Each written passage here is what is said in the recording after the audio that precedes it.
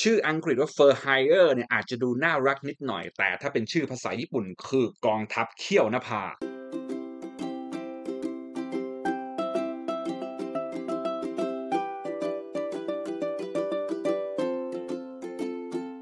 สวัสดีครับ ยินดีต้อนรับเข้าสู่มูเก่งแฟนตาซีนะครับผมสำหรับจักรวาลการ์ดยูกิโอในคลิปนี้นะครับ ผมจะเอาการ์ดซีรีส์หนึ่งมาพูดคุยให้กับทุกคนฟังนะครับ ซีรีส์นั้นมีชื่อภาษาอังกฤษว่า Fur Hire นะครับผมหรือก็คือถ้าเป็นแบบแปลเป็นไทยตรงๆ มันแปลว่าอะไรดีนะครับ Fur ก็คือแบบพวกขนสัตว์อะไรพวกนี้เหรอ แล้วก็ถ้าเป็น Hire เท่าที่ผมรู้มันคือการว่าจ้างนะครับขนสัตว์ว่าจ้าง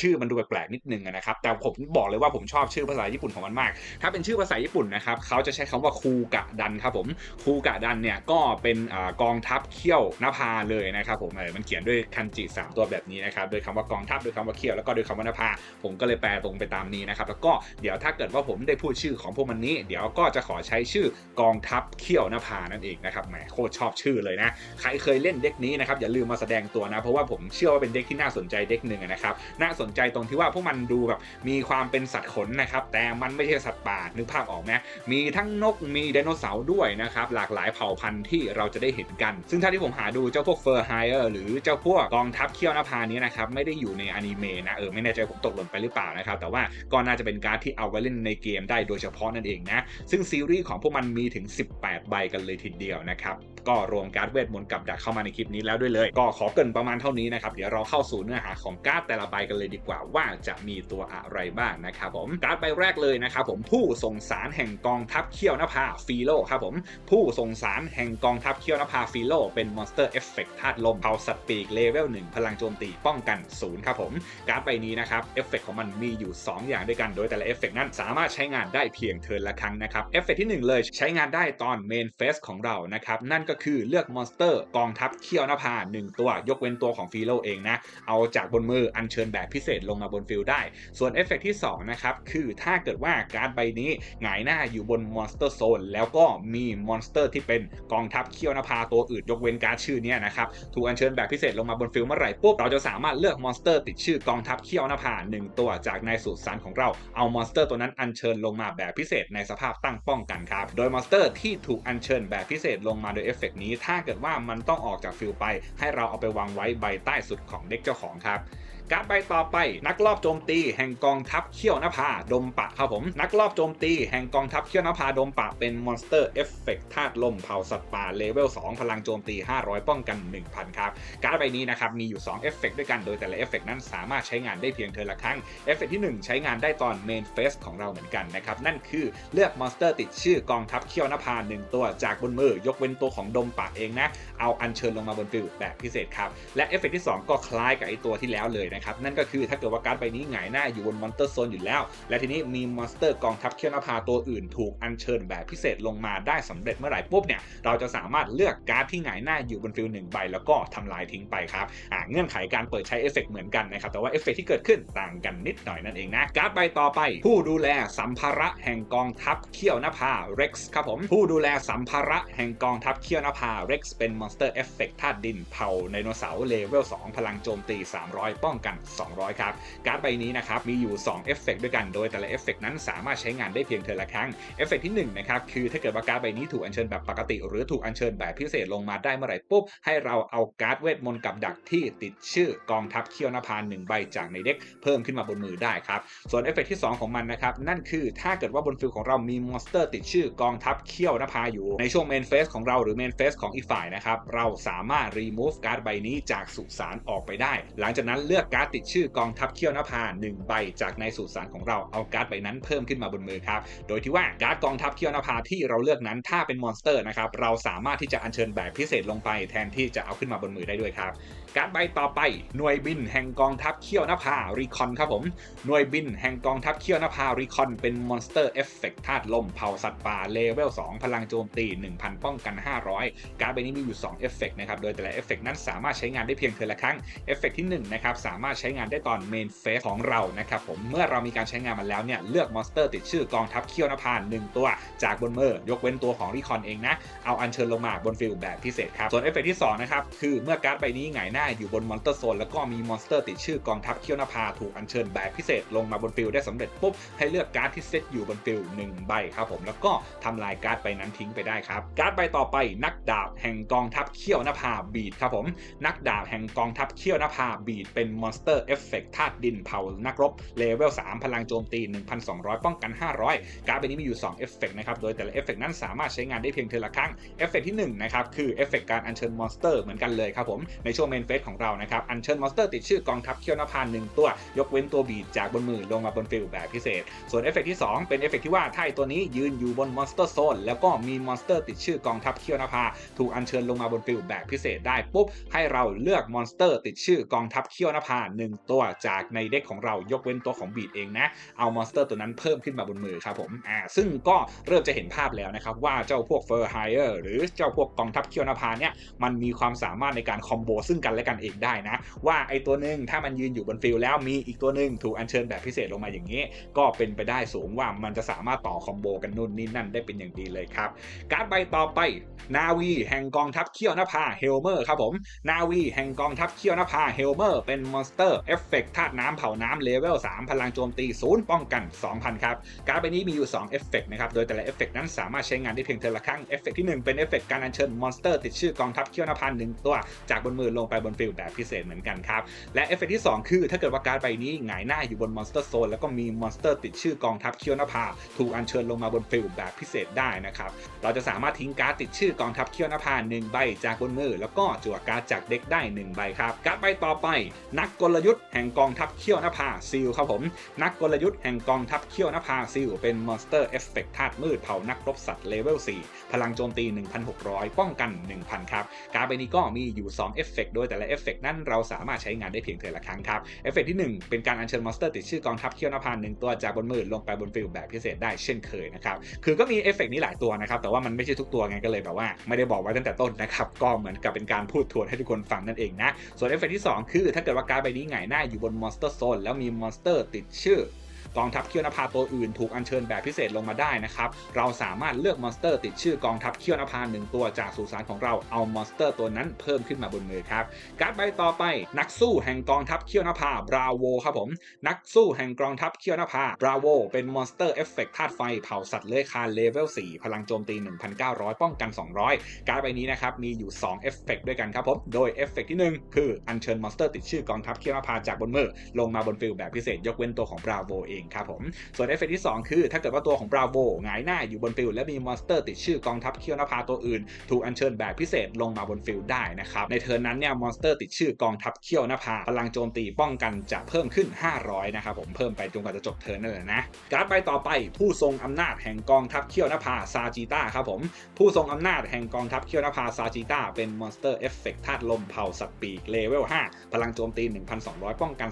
2,400 การ์ดใบนี้มีอยู่2เอฟเฟกต์ด้วยกันนะครับผมโดยเอฟเฟกต์ที่1นะคือถ้าเกิดว่าการ์ดใบนี้ถูกอัญเชิญแบบพิเศษลงมาได้สำเร็จปุ๊บให้มอบความเสียหายให้กับ life point ของอีกฝ่ายหนึ่ง500 คูณชนิดของ monster ติดชื่อกองทัพเขี้ยวนภาที่อยู่บน field ของเราณตอนนั้น โดยไม่นับตัวของซาจิต้าเองนะครับผมซึ่งไอตัวนี้ก็ถ้ายืนอยู่บน field กับพวกเพื่อนๆ ของมันอย่างนี้อยู่สัก 4 ตัวอย่างนี้ก็สามารถมอบความเสียหายให้กับอีกฝ่ายหนึ่งได้ตั้ง2,000 แล้วนะเออนี่ถือว่าเป็นเอฟเฟกที่ค่อนข้างจะแหวกแนวมาจากพวกอัญเชิญแบบพิเศษแล้วนะครับแต่ว่าเป็นเอฟเฟกที่สามารถสำแดงผลได้ตอนที่มันถูกอัญเชิญแบบพิเศษนั่นเองครับ ส่วนเอฟเฟกที่2นะครับคือตราบใดที่การ์ดใบนี้หงายหน้าอยู่บน monster zone เวลาที่อีกฝ่ายหนึ่งจะมีการใช้งานเอฟเฟกเล็งเป้าไปยัง monster จะไม่สามารถเล็งเป้าไปยัง monster ติดชื่อกองทัพเขี้ยวนภาตัวอื่นได้ยกเว้นการ์ดใบนี้นะครับผมถือว่าเป็นป้อมปราการปกป้องเพื่อนพ้องได้เป็นอย่างดีเลยนั่นเองครับการ์ดใบต่อไปฮีโร่แห่งกองทัพเขี้ยวนภาไดนาครับผมฮีโร่แห่งกองทัพเขี้ยวนภาไดนาเป็น monster effect ธาตุดินเผ่านักรบสัตว์ level 6พลังโจมตี 2,500 ป้องกัน 1,400 การ์ดใบนี้ก็มี2เอฟเฟกนะครับเอฟเฟกที่1เลยคือเป็นเอฟเฟกตอบรับการอัญเชิญแบบพิเศษคือ เมื่อมันถูกอัญเชิญแบบพิเศษลงมาได้สำเร็จปุ๊บเราสามารถเลือกการ์ดที่อยู่ในสุสานของอีกฝ่ายตามชนิดของ monster ติดชื่อกองทัพเขี้ยวนภาที่อยู่บน field ณเวลานั้นของตัวไดนาจะแตกต่างกับของซาจิต้านิดนึงนะครับซาจิต้าเนี่ยเขาไม่นับตัวเองแต่ว่าตัวของไดนานับตัวเองด้วยครับผมส่วนเอฟเฟกที่ 2 ตราบใดที่การ์ดใบนี้หงายหน้าอยู่บน monster zone นะครับ monster ที่ติดชื่อกองทัพเขี้ยวนภาตัวอื่นบน field ของเราเนี่ยจะไม่ตกเป็นเป้าการโจมตีของอีกฝ่ายหนึ่งครับโอ้โหนึกภาพว่าไดนาอย่างนี้ใช่ไหมยืนคู่กับซาจิต้าอย่างนี้บอกเลยว่าปกป้อง monster ของเราได้เป็นอย่างดีเลยนะถ้าตัวเองไม่เป็นอะไรซะก่อนนะครับการ์ดใบต่อไปผู้ทรงปัญญาแห่งกองทัพเขี้ยวนภาวิสครับผมผู้ทรงปัญญาแห่งกองทัพเขี้ยวนภาวิสเป็น monster effect ธาตุน้ำเผ่าจอมเวท level 7 พลังโจมตี 1,600 ป้องกัน 2,800 ครับ การ์ดใบนี้ก็มีอยู่ 2 เอฟเฟกต์ด้วยกันนะครับ โดยแต่ละเอฟเฟกต์นั้นสามารถใช้งานได้เพียงเทอละครั้ง เอฟเฟกต์ที่ 1 คือ ถ้าเกิดว่าการ์ดใบนี้ถูกอัญเชิญแบบพิเศษลงมาได้สำเร็จปุ๊บ life point ของเราจะเพิ่มขึ้น 500 คูณจำนวน monster ติดชื่อกองทัพเขี้ยวนภาที่อยู่บน field ตัวอื่น ไม่นับตัวมันเองเหมือนกันหน้านี้ ส่วนเอฟเฟกที่2นะครับ คือถ้าอีกฝ่ายหนึ่งมีการใช้งานเอฟเฟกของเวทมนต์และกับดัก เราสามารถทิ้งการ์ดที่ติดชื่อกองทัพเขี้ยวนภา1ใบจากบนมือของเราครับ แล้วก็ทำให้เอฟเฟกนั้นไร้ผลไปได้ครับ การ์ดใบต่อไปวีรบุรุษแห่งกองทัพเขี้ยวนภาราฟาวครับผม วีรบุรุษแห่งกองทัพเขี้ยวนภาราฟาวเป็น monster effect ธาตุแสงเผ่ามังกรเลเวล8พลังโจมตี2,800 ป้องกัน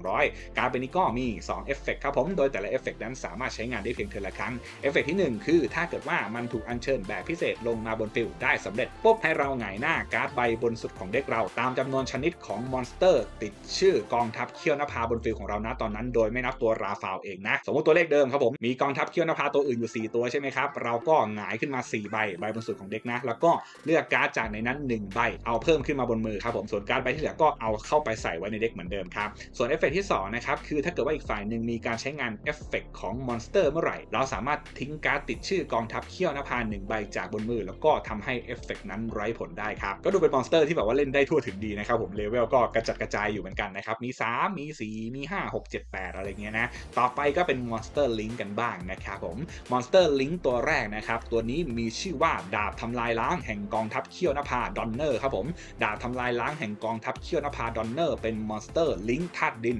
ลิง2พลังโจมตี 1,600 ครับ การ์ดใบนี้นะครับ เกิดจากการใช้ monster ที่มีเผ่าต่างกัน 2 ตัวเพื่ออัญเชิญลิงก์ลงมานะครับผม อันนี้คือสบายเลยครับ พวกแบบกองทัพเขี้ยวนภานี้มันมีเผ่าที่มันหลากหลายอย่างที่ผมบอกไปตอนต้นนะเอฟเฟกของดอนเนอร์นะครับมีอยู่2เอฟเฟกด้วยกันครับ โดยแต่ละ turn นั้นเราสามารถเลือกใช้งานได้แค่เอฟเฟกใดเอฟเฟกหนึ่งเท่านั้นเอฟเฟกที่ 1 เลยนะครับเราสามารถเลือก monster ติดชื่อกองทัพเขี้ยวนภา1ตัวที่อยู่บน field ของเราพร้อมกับ monster ที่อยู่บน field ของอีกฝ่ายได้1 ตัวครับผมทำลาย monster เหล่านั้นทิ้งไปครับ ส่วนเอฟเฟกที่2นะครับคือเราสามารถ release monster 1ตัวที่อยู่บน field ของเราได้นะครับโดยที่ว่าเมื่อ release เสร็จแล้วให้เราเลือก monster ติดชื่อกองทัพเขี้ยวนภา1ตัวที่อยู่บนมือหรืออยู่ในสุสานก็ได้นะครับโดยเป็นตัวที่มีชื่อแตกต่างจากตัวที่เรา release ไปครับผมเอา monster ตัวนั้นอัญเชิญแบบพิเศษลงมาได้ครับโดยถ้าเกิดว่าเราใช้เอฟเฟกนี้ของ Donner ในการ release นะครับถ้าเรา release เป็น monster link ไปนะเราจะสามารถอัญเชิญ monster แบบพิเศษเพิ่มได้อีก 1 ตัวเลยครับการ์ดใบต่อไป monster ตัวสุดท้ายนะครับผมผู้รักษาความยุติธรรมแห่งกองทัพเขี้ยวนภาฟอโก้ครับผมผู้รักษาความยุติธรรมแห่งกองทัพเขี้ยวนภาฟอโก้เป็น monster link ธาตุมืดเผ่าสัตว์ป่าลิง3พลังโจมตี 2,400 การ์ดใบนี้ก็เกิดจากการใช้ monster ที่มีเผ่าต่างกัน 3 ตัวในการอัญเชิญลิงลงมานะครับอย่างแรกนะครับการ์ดใบนี้ไม่สามารถใช้เป็นวัตถุดิบในการอัญเชิญลิงได้นะครับผมแล้วก็มันมีอยู่2เอฟเฟกครับแต่ละเอฟเฟกก็สามารถใช้งานได้เพียงเทละครั้งเอฟเฟกที่ 1 เลยนะครับถ้าเกิดว่าการ์ดใบนี้ถูกอัญเชิญแบบลิงก์ลงมาได้สำเร็จเมื่อไหร่ปุ๊บเราจะสามารถเลือก monster ติดชื่อกองทัพเขี้ยวนภา1ตัว จากใน deck อัญเชิญแบบพิเศษลงมาบน field ได้ครับผมโดย monster ติดชื่อกองทัพเขี้ยวนภาที่เราจะอัญเชิญแบบพิเศษจาก deck มา ต้องเป็น monster ที่มีเผ่าต่างกับ 3 ตัว ที่เราใช้ในการอัญเชิญลิงก์ของตัวฟอโก้ลงมานะครับผมส่วนเอฟเฟกที่ 2 ของมันนะครับเวลาที่การ์ดบน field ของอีกฝ่ายหนึ่งถูกทำลายจากเอฟเฟกหรือถูกทำลายจากการต่อสู้ไปปุ๊บเราจะสามารถจั่วการ์ดจาก deck ได้ 1 ใบครับผมโดยตอนนั้นถ้าบน field ของเรามี monster ติดชื่อกองทัพเขี้ยวนภาอยู่ 3 เผ่าขึ้นไปนะ เอฟเฟกนี้จะทำให้เราจั่วการ์ดจาก deck ได้ 2 ใบด้วยครับ monster หมดใหม่ต่อไปก็จะมาเป็นการ์ดเวทมนต์กันบ้างแล้วนะครับผมการ์ดเวทมนต์ใบแรกเลยคือกองทัพเขี้ยวนภาแห่งสายลมใหม่ครับกองทัพเขี้ยวนภาแห่งสายลมใหม่เป็นการ์ดเวทมนต์ฉับพลันนะครับการ์ดชื่อนี้สามารถใช้งานได้เพียง turn ละครั้ง และใน turn ที่เรามีการใช้งาน เราจะสามารถใช้ monster ประกาศโจมตีได้ เฉพาะตัวที่ติดชื่อกองทัพเขี้ยวนภาเท่านั้นนะครับส่วนเอฟเฟกของการ์ดใบนี้จริงๆจังเลยก็คือให้เราเลือก monster 1ตัวที่อยู่บน field ของเรา release ไป หลังจากนั้นให้เราเลือก monster ติดชื่อกองทัพเขี้ยวนภาที่มีเลเวลสูงกว่า monster ตัวที่ release ไป1เลเวลหรือต่ำกว่า1เลเวลก็ได้นะครับ เลือกจากบนมือหรือจากใน deck อัญเชิญแบบพิเศษลงมาบน field ครับผมการ์ดใบต่อไปกองทัพเขี้ยวนภาแห่งสายลมกรดครับผมการ์ดชื่อนี้ก็สามารถใช้งานได้เพียงแต่ละครั้งนะครับเอฟเฟกของมันก็คือเลือก monster ติดชื่อกองทัพเขี้ยวนภาหนึ่งตัวจากสุสานของเรา เอา monster ตัวนั้นอัญเชิญแบบพิเศษลงมาบน field ในสภาพตั้งป้องกันครับการ์ดใบต่อไปป้อมปราการมังกรบินฟันโดราครับผมป้อมปราการมังกรบินฟันโดราเป็นการ์ดเวทมนต์ field นะครับการ์ดเวทมนต์ใบนี้นะเวลาที่มันมีการหงายหน้าอยู่บน field นะครับผมในช่วง draw phaseก่อนที่เราจะจั่วการ์ดตามปกตินั้นเนี่ยเราสามารถเลือก monster ติดชื่อกองทัพเขี้ยวนภาหนึ่งตัวจากใน deck ของเราเพิ่มขึ้นมาบนมือแทนการจั่วการ์ดนั้นได้ครับ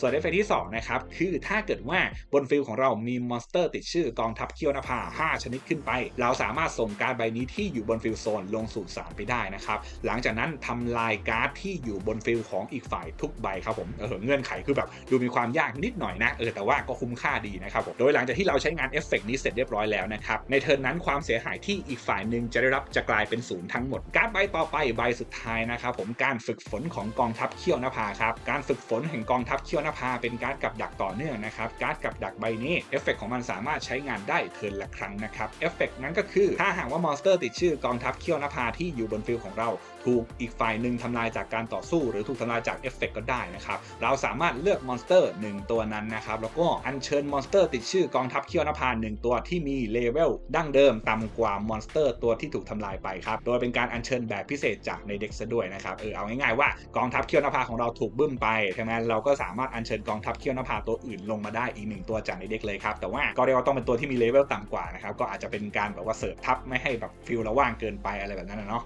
ทั้งหมดนี้ก็จะเป็นการ์ดกองทัพเขี้ยวนภาทั้ง 18 ใบที่ผมเอามาเล่าให้ฟังนะครับผมเออเป็นเด็กแปลกใหม่ดีนะครับผมไม่เคยเห็นมาก่อนนะแต่ว่าไปดูแล้วมันก็ดูมีเสน่ห์ของมันอย่างที่ผมว่าไปนะ มันเยอะเผ่าดีนะครับทั้งทั้งที่ผมอ่านชื่อของพวกมันตอนแรกเนี่ยก็คิดว่าเป็นพวก monster เผ่าสัตว์ป่าหรือเปล่าหรืออย่างมากก็คงเป็นนักรบสัตว์อะไรเงี้ยเออแต่ว่าแบบ